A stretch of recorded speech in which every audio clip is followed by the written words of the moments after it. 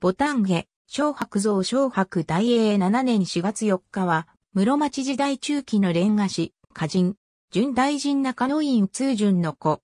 号は、夢庵、ボタンゲ、老家県など。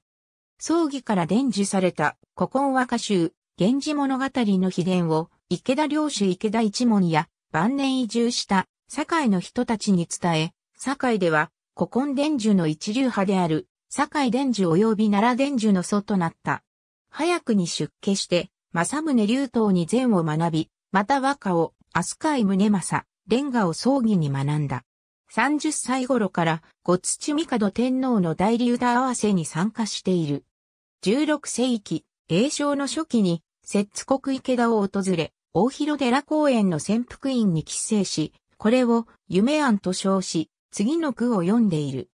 呉服の里に隠れて、室を夢案と合して、笹の葉の音も頼りの下よかな。呉服の里とは、中世の池田地方に、暮れ庭荘という荘園があったことにより、現在も、町名や呉服神社に名を残している。夢庵の小白は以後、自らも、老家と合し、レンガを読んだ。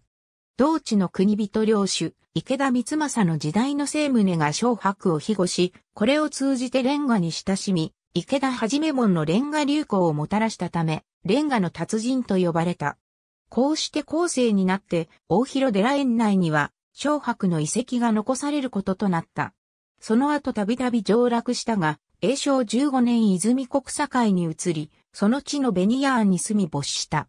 古今和歌集古劇、源氏物語聞き書きなど、公爵の聞き書きをもとにした注釈書が多い。